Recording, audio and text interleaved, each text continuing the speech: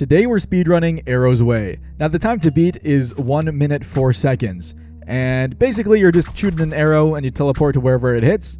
Uh, as you can see, we're going through this. We got to go to the right first because we got to flick a switch and activate uh, kind of like a spinny thing to get past it. So we're going to go over here. You don't actually need to touch that lever, which I figure out later, but just going to climb this wall, grab the checkpoint, keep going through. This is what we, we needed to activate it. Before that was just not moving so we wouldn't have been able to make it past before.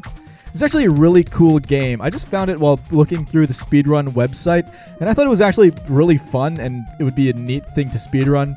Uh, so I was kind of sad to see there was only literally two other people who have speedrun it before. Uh, but I guess it is a smaller game. I think it was made on itch or something like that. Uh, we are making a couple mistakes here, but I think we should still be able to get the record. Just gotta make it through these two. Good. And we're almost at the end. Through the door and just get me in. Nice. Okay. We did it with a time of 1 minute 32 milliseconds. That is a speed run. But I wasn't satisfied just right there. I wanted to go for a less than one minute speed run. So let's run it again. This time I actually kind of modified my run just a little bit. Uh, just to make it go a little bit faster. We did manage to get that glitch again, which I think saves like a tiny bit of time.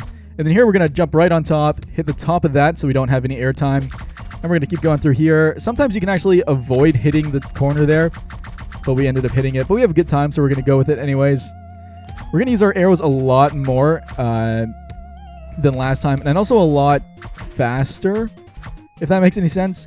Getting through here or pre 30 seconds is really, really good. Making that first time is also beautiful. Gonna keep going through here.